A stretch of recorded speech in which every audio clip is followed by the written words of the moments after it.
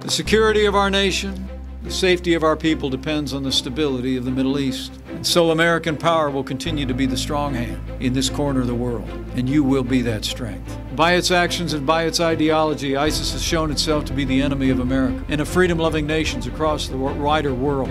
And so we resolve to confront this enemy. And under the leadership of this Commander in Chief, you've taken the fight to ISIS on our terms, on their soil.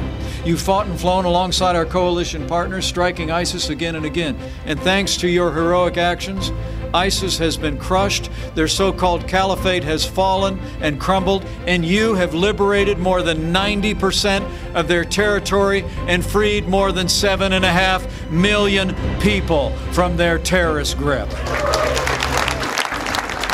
As you stand to post, I want you to know that your commander in chief and all of the American people are behind you 100%. We will not rest. We will not relent until we hunt down and destroy ISIS at its source so it can no longer threaten our people, our allies, or our way of life.